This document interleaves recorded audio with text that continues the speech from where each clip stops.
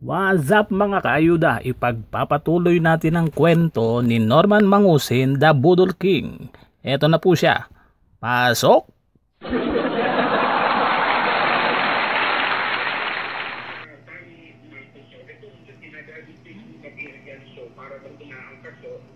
Para bang tumaangkat so gusto mo nga sabi ko ano si Bongbong Marcos ni Marcos si Imelda Marcos eh wala rin naman yung hindi Ah, ay, ay, ewan ko nga, eh, hindi ko alam dyan sa mga mga mga taong yan, no, mga walang gawang matino. Eh. Pati ba naman yung nananahimik na unang pamilya ay ah, idinadamay nila sa kung ano-ano mang issue.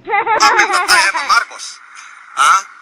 Yun po yun. And yung nanay ko po, it so happened that inspired by the wrongdoing of the former President Marcos and the First Lady.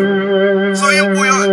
So pinalaki po po ako na, ah, na talagang ah, yung akin pong advokasya inspired. Mema, may masabi lang yung mga kritiko. Parang ganun. Parang ganun. Ah, may, ano yun? Expression mo? May masabi? Mema. mema. Bago yun ah.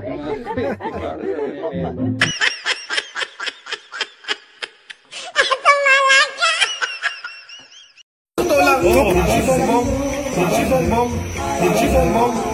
Alam mo ba, nag-uusap kami, Diyos ko naman, sabi lagi ng nanay niya, ano ka ba naman, you are the namesake, tingnan mo muna yung pinsan mo, bata-bata pa, alakas kalahati. Ano ka ba naman, you are the namesake, tingnan mo muna yung pinsan mo, bata-bata pa, alakas kalahati. Si Imelda nagsasabi, si Imelda nagsasabi, si Imelda nagsasabi.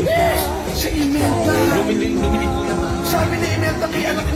Dominik Ano ka ba naman, anak? Ikaw namesake, pinsan mo, walang pakialam sa politika, puta, talik-talino, wala ka sa kalahati.